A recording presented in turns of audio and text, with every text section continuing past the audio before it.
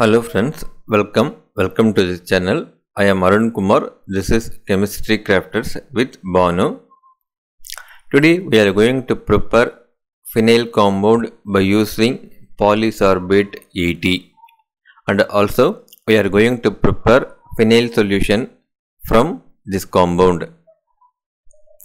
For phenyl compound many formulas are available Already we have posted one formula by using soft soap and oleic acid. This is another formula. Today our batch size is 100 ml.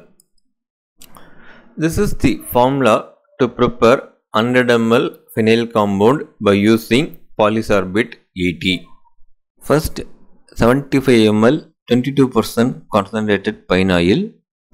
Next 13 ml polysorbate 80 this is very safe material even for food industries pharmaceutical industries they will use it.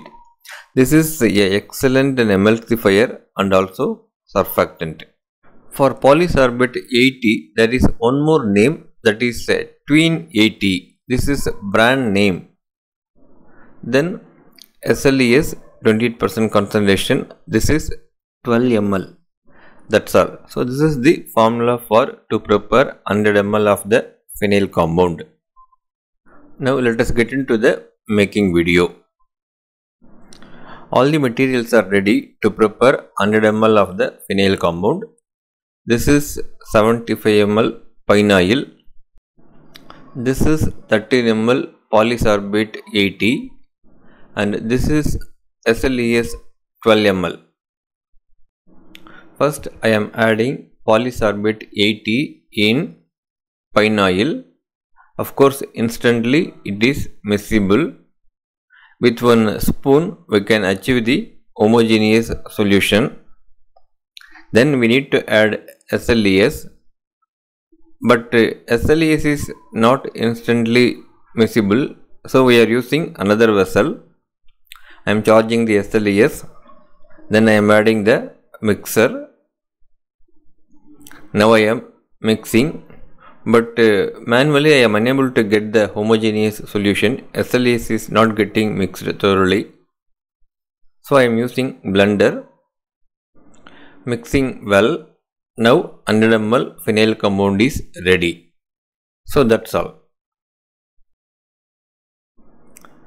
Now by using this 100 ml phenyl compound we can prepare 2 liters of phenyl solution now we are going to prepare 1 liter of white phenyl solution and also 1 more liter of perfumed color phenyl solution. This is the formula what we are going to follow. If necessary you can take a screenshot. First let us prepare white phenyl solution. This is 2 liter capacity plastic vessel. To prepare 1 liter phenyl solution. This is sufficient. First I am charging phenyl compound. Then I need to add 1 liter of the water. So I am slowly adding the water with continuous stirring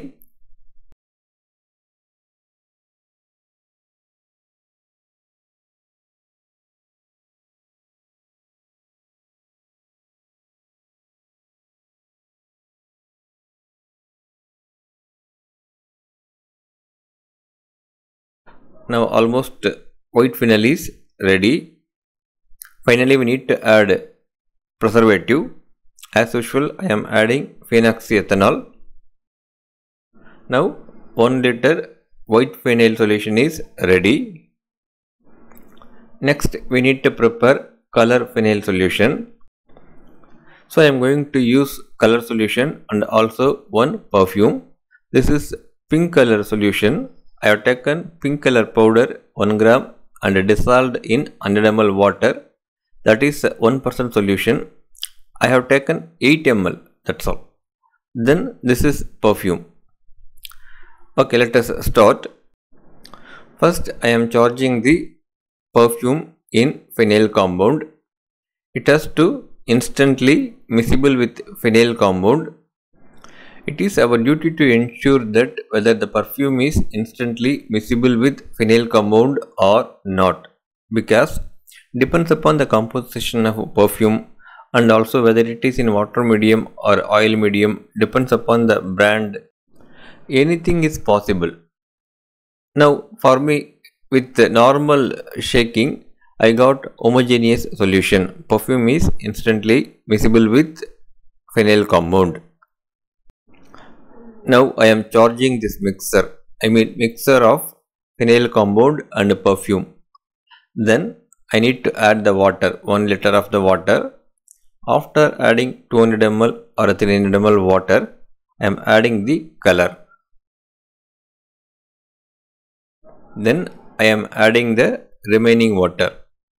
But here the important thing is during the preparation of phenyl solution the blending speed is very important otherwise there is possibility for layer separation and also I have added the preservative now color solution is ready. Now both white phenyl solution and color phenyl solutions are ready. We will allow to settle for 24 hours. After 24 hours, we will observe is there any layer separation. This is after 24 hours. This is uh, color phenyl. There is no layer separation.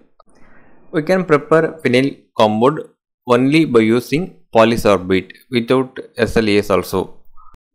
But SLES is required for two reasons. First one is if we are adding perfume, if we are going to prepare color phenyl solution means SLES will improve the solubility of the perfume. One reason. Merely white phenyl means SLES is not required. And another important reason is um, SLES is an excellent surfactant. So this phenyl solution, after addition of SLES, this phenyl solution will act as disinfectant as well as cleaning material in our bathroom. Completely homogeneous. This is white phenyl. This is also no layer separation. Completely homogeneous. We'll transfer it into the beaker. This is the expected thickness of phenyl solution. The reason is in this phenyl solution nearly 95% is water only. Water is the medium. Remaining 5% only we are adding the other materials like pine oil, SLES, whatever it is. So this is original formula. We have used sufficient amount of pine oil in 1 liter of the phenyl solution. This will act as a very good disinfectant and also without affecting our environment. If necessary for commercial purpose, we can add any thickening material. Generally, carbomer is the best choice for thicken phenyl solution. But to prepare transparent carbomer gel, we need to follow the specific method.